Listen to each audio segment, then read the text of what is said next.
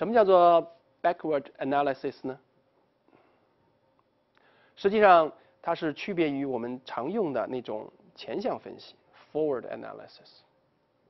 举个例子，比如我要来预测一下明天股市的行情，明天的股票到底是会涨还是落呢？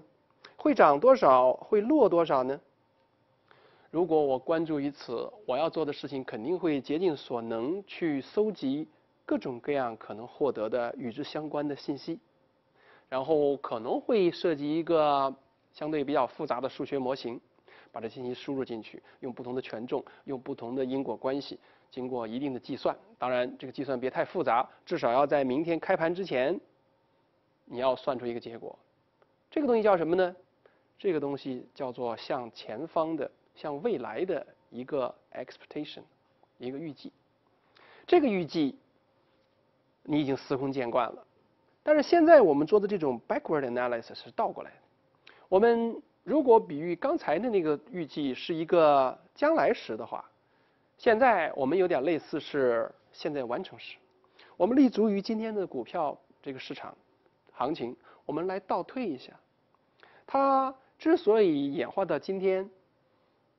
在刚刚过去的这一天，它可能发生了一些什么事儿？平均而言，发生了一些什么事儿？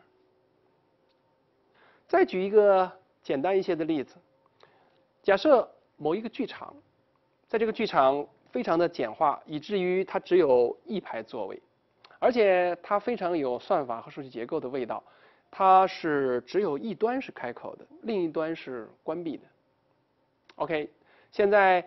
我们来假设不同的观众按照不同的次序来就座，那么你会发现，越是靠近前端的观众，他入座的成本越低，因为他只要轻松的坐在那儿就可以了。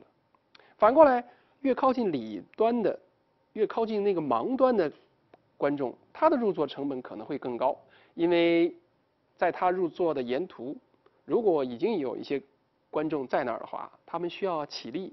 为他让道。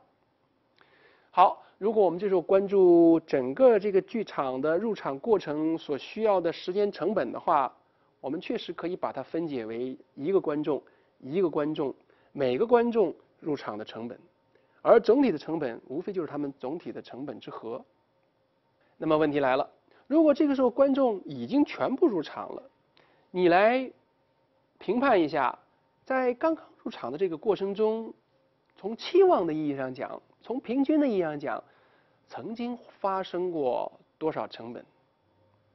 如果你是沿着这样的一个思路来思考这一类问题的话，那么我们说它就是一个不折不扣的 backward analysis 后向分析。